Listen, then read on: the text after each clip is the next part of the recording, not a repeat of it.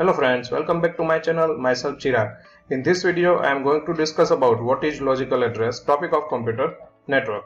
Before discuss about what is logical address, first of all, let us see uh, types of address in TCP/IP model.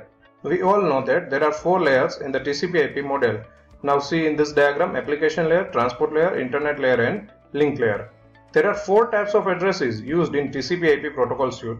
The first one is the physical address used at the link layer. The second one is the logical address used at internet layer. The third one is the port address used at the transport layer. And the fourth one is the specific address used at the application layer.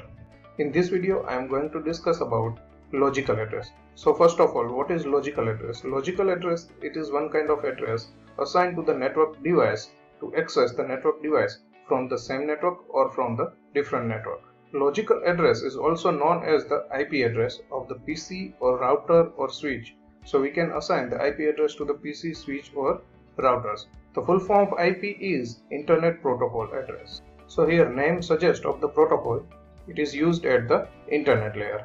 Next, how many types of IP address?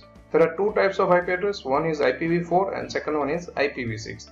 IPv4 is the 32 bits address and IPv6 is the 128 bits address. So can you explain the IPv4 and IPv6 with example? Let us see the example of IPv4 and IPv6. So here the example of IPv4, this is the decimal value 192, 168, 1 and 5. So here it is the 32 bits as per the previous discussion. Why it is 32 bits? Because this decimal value convert into the binary value, it store the 8 bit value. So this one box is called as octant so 1 octant is equal to 8 bits value. Here there are 4 octants. So 8 multiplied by 4. So it occupied the 32 bits value of the IPv4. Whenever I write the IPv4 value, so it is like that way. It is 192.168.1.5. Uh, so this is the decimal number. So this value is called as dotted decimal numbers. Next, see the example of IPv6. Now you can see over here IPv6 written in the hexadecimal values. So the size of the IPv6 is 128 bits. Why it is 128 bits? Because whenever you convert this hexadecimal value into binary, it stored 16 bits.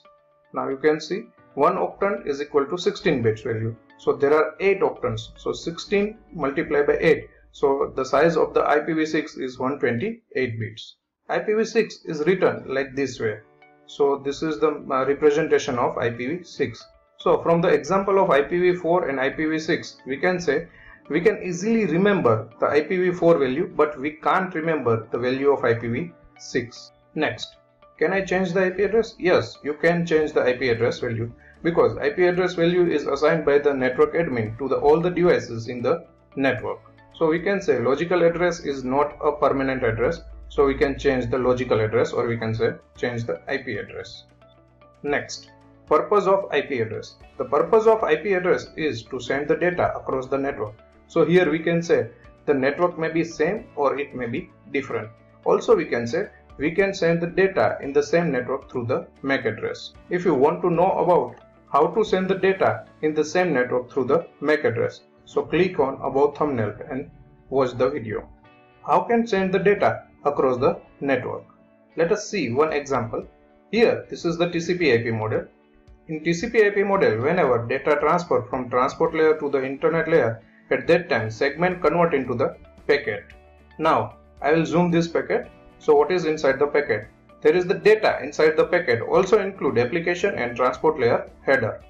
So at the internet layer, one header is added. So what is the inside in the header. It is source IP and destination IP so it is called the header of the data and this whole diagram is called as the packet at network layer now I will show you one scenario of the data transfer from same network and different network through the IP address. Here it is the network A. There are three PC in the network A1 A2 and A3 these all PCs are connected through the switch. The another network is network B there are three PCs in the network B, B1, B2 and B3. These all PCs are connected through the switch. So whenever I want to connect this different network, I need a one router. So this is the router and both the networks are connected. Let us take one example of the data transfer. Here A1 is the sender A3 and B3 both are the receiver.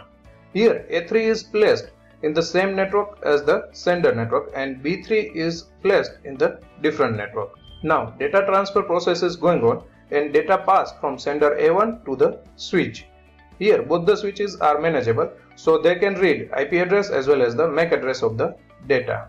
Read the IP address from the data and pass to the next hop.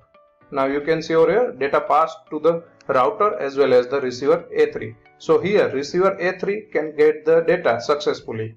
So router is work on internet layer. So router can read the IP address only. So from the data router can read the IP address and pass to the switch. Now it is manageable switch and read the IP address from the data and pass to the particular device.